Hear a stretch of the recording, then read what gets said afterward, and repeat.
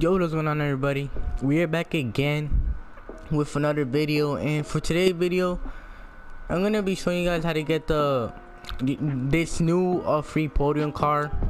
I'm, I'm gonna be showing you guys a good method to use so you, you have a high chance of getting this free podium car.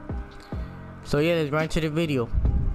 So the first thing you're gonna want to do is make sure you're in the invite only session because when you're in the invite only session you know the wheel you, you don't you don't have to wait anybody to, to spin the wheel and you're alone too so you want to be in an invite only session because you want your wheel to be like fresh like this so before you actually spin the wheel make sure that it looks exactly like how, how mine looks like.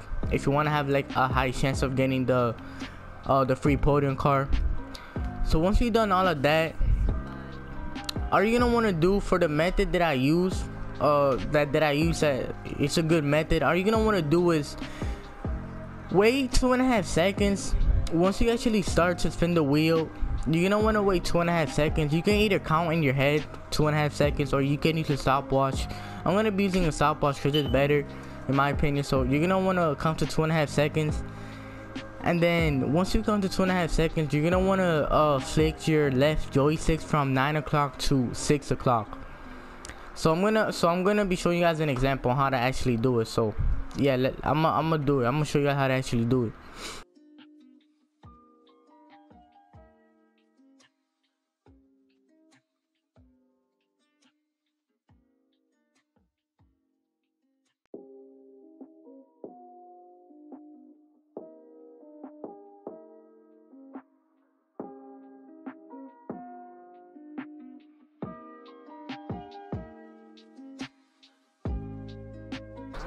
so yeah as you can see right there that is how you do it.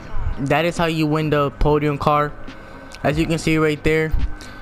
So if you guys didn't make out of way to the end of the video you know like this video if you're gonna try this method out.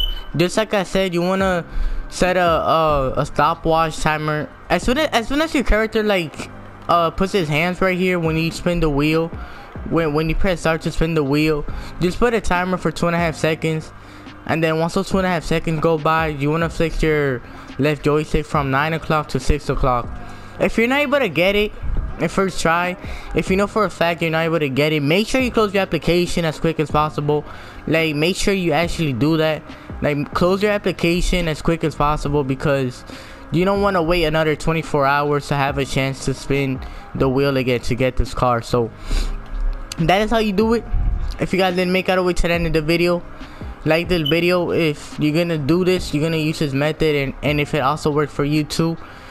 And yeah also subscribe for new we're on the road to 5,000 subs. And I'm out